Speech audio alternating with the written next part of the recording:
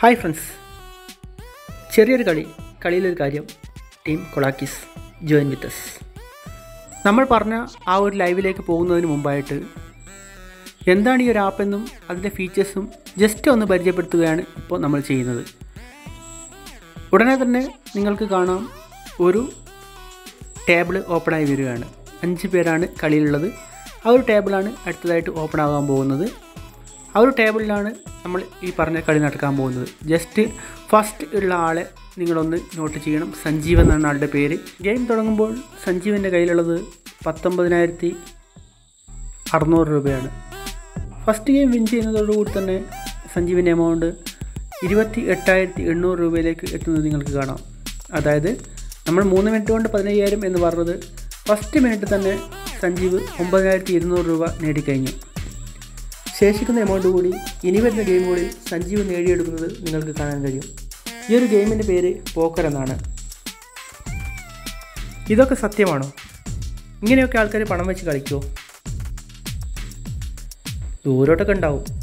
കേരളത്തിലൊന്നും തരം ഉണ്ടാവില്ല. ഇതൊക്കെയായിരിക്കും ഒരു സാധാരണ മലയാളിയുടെ ചിന്ത. പക്ഷേ നിങ്ങൾ അറിയുക ഇത് പൂർണമായി സത്യമായ കാര്യമാണ്. ഈ കളി നിങ്ങൾക്കും കളിക്കാം. നിങ്ങളുടെ ചുറ്റുമുള്ള ചിലരെങ്കിലും ഈ ഒരു കളി കളിക്കുന്നുണ്ടാകാം. അറിയണ്ടേ? നിങ്ങൾക്ക് ഇതിനെക്കുറിച്ച് ഡീറ്റെയിൽ ആയിട്ട് ബേസ് ഗെയിമുകളിൽ നിന്നാണ് തുടക്കം.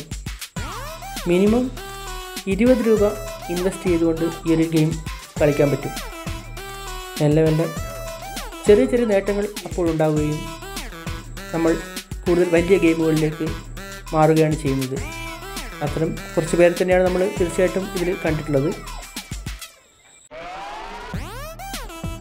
കളി അറിയുന്നവരുടെ കൂടെ കളിക്കാനാണ് രസം. കളി അറിയുന്ന കുറച്ച് പേരുണ്ടെങ്കിൽ കളിക്കാനൊരു രസം ഉണ്ടാവും അപ്പോൾ എന്തായാലും ആദ്യം പൂർണമായിട്ട് ഇതിലെ ഗെയിമുകളെക്കുറിച്ച് ഒന്ന് മനസ്സിലാക്കേണ്ടതുണ്ട്. ഒപ്പം ഡ്രീം ലെവൻ റമ്മി അങ്ങനെ ഗെയിമുകൾ ഒരുപാടുണ്ട്. എല്ലാം നമുക്കൊന്ന് ജസ്റ്റ് ഒന്ന് പഠിക്കാം. എന്നിട്ട് പഠിച്ചിട്ട് കളിക്കാം.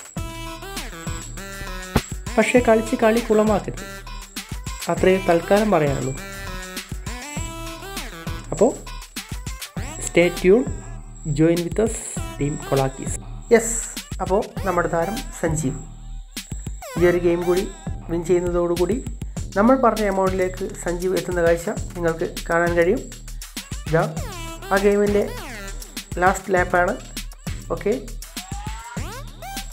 flush Sanjeev win thirty four thousand അതാണ് സഞ്ജീവിന്റെ ഫൈനൽ എമൗണ്ട് കളി നടക്കട്ടെ നമ്മൾ ലീവ് ചെയ്യുന്നു.